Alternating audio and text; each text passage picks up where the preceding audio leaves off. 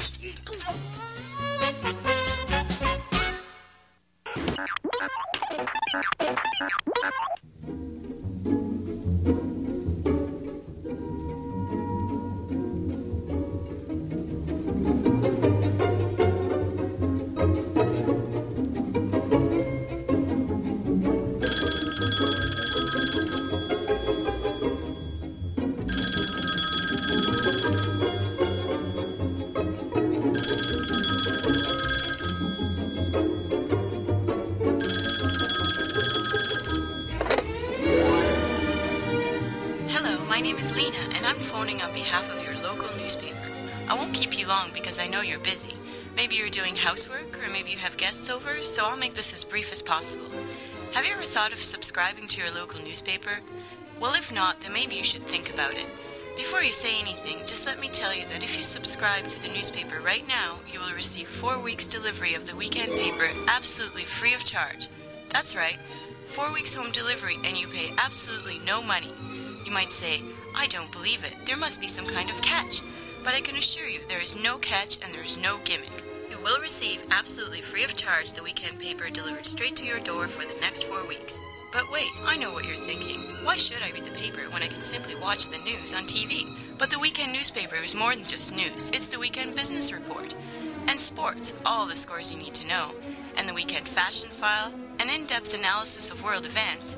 Plus, you get the weekly TV listings and the full color weekend funnies. And that's not all.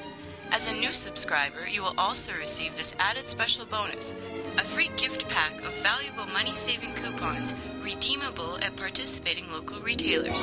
So tell me, to what name and address should I make out this subscription?